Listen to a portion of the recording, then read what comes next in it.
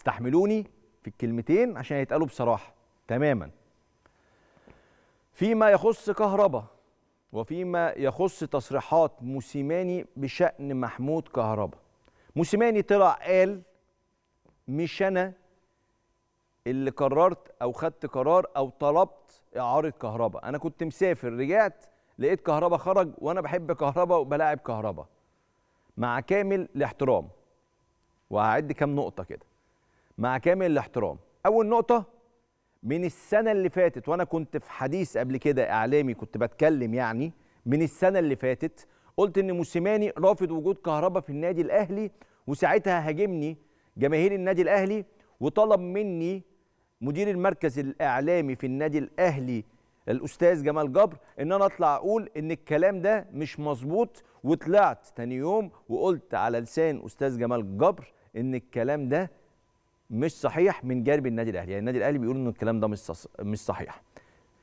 والمعلومات الحقيقية إن كهربا كان المفروض يمشي في الصيف بقرار من موسيماني وحاولت إدارة النادي الأهلي. عشان بس أبرأ كل واحد وأديله حقه.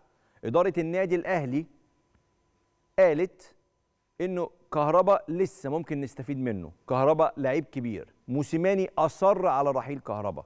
في نهاية الموسم الماضي وفي شهر يناير يعني قرار رحيل كهربا اولا وأخيرا من عند بيتسو موسيماني مع كامل الاحترام لتصريحاته. الراجل هو من طلب رحيل كهربا عن النادي الأهلي.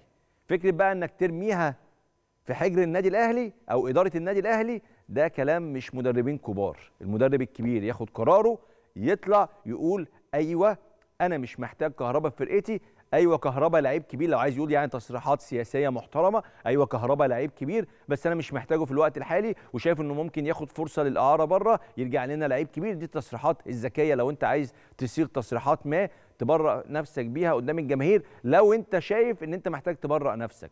أنا مش شايف أصلا إن أنت محتاج تبرأ نفسك. بالعكس أنا قلت إمبارح إنه أصلا قرار رحيل كهربا للإعارة في الفترة الحالية هو قرار صحيح سواء كان موسيماني خده أو إدارة النادي اللي خدته. بس موسيماني هو من اتخذ هذا القرار.